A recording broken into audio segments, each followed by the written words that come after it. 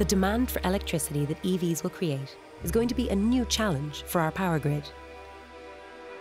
But the batteries in electric cars might just help to solve one of the grid's most pressing issues storage. Supplying extra power at times of peak demand is one of the grid's key functions.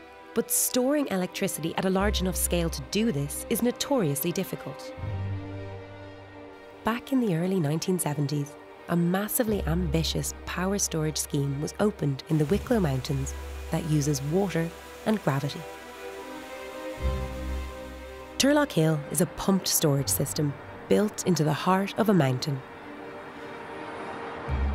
At times of high demand, the reservoir above drains water down through enormous generators to a lower lake. At night, when demand is low, the turbines go into reverse and pump the water back up to the mountaintop.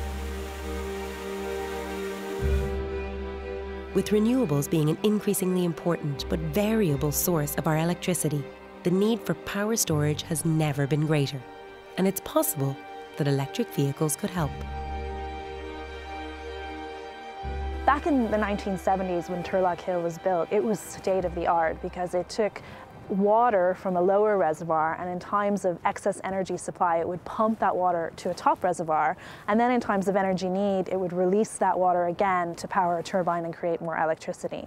And, and that's the kind of storage system we need now as we move to a more variable renewable energy system comprised of wind and solar.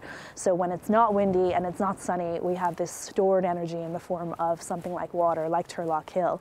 Now Turlough Hill is still state of the art and places like Scotland are emulating it.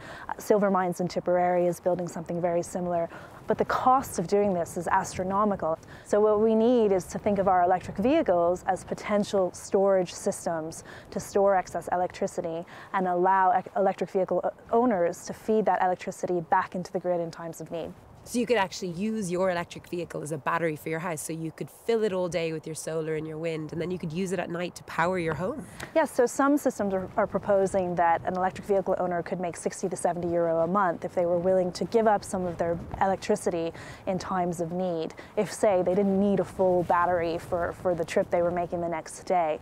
And for someone like me, that's roughly what I spend on charging my electric vehicle every month. So I could essentially offset my entire fuel fueling costs if a system like this was in place.